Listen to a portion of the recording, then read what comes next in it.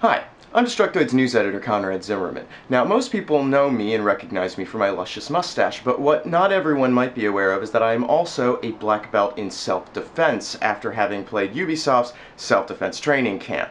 Uh, I wanted to take an opportunity to show you guys all of the really valuable lessons that I have learned over the course of performing the actions and training for two hours in self-defense training camp to become a black belt. So, enjoy.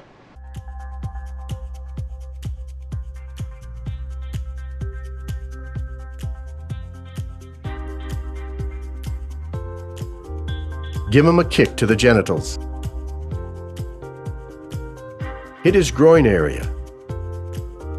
Lean back as you hit the groin in order to keep your balance. Kick his groin.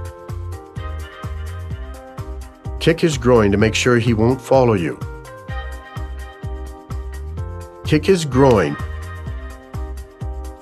Hit him in the groin to get him off balance. Immediately do a knee strike to the groin. Straight into a groin kick. Kick his groin to inflict massive pain.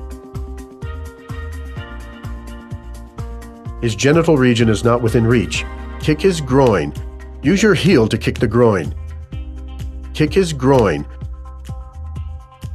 To do a knee strike to the genital area, just lift your knee and aim straight ahead. Make sure you stretch your leg out for the groin kick kick his groin. Your arm is aligned with your attacker's groin. Use a hammer strike and the momentum from your swinging arm to hit his groin. Do a knee strike to his groin to surprise him. Let's go to a kick to the groin. Do one last kick to the genital triangle.